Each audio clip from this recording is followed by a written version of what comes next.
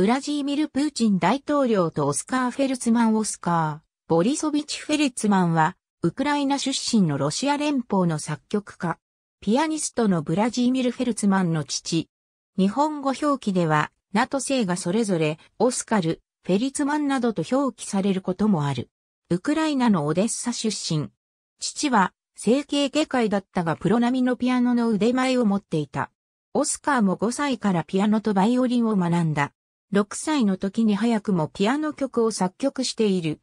1939年、モスクワ音楽院に入学し、ビッサリオン・シェバリーンに作曲を指示した。独ソ戦が始まると、ノボシビルスクに避難し、20歳でシベリア作曲家連盟の初期となった。この時期には、レニングラード・アレクサンドリンスキー劇場やベラルーシユダヤ劇場のためにオーケストラ曲を提供している。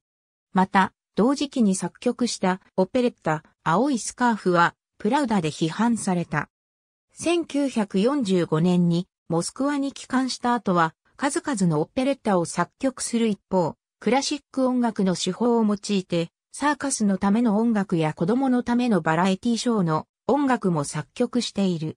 1952年にはバイオリン競争曲を作曲したが、それ以降作曲の中心は歌曲に移った。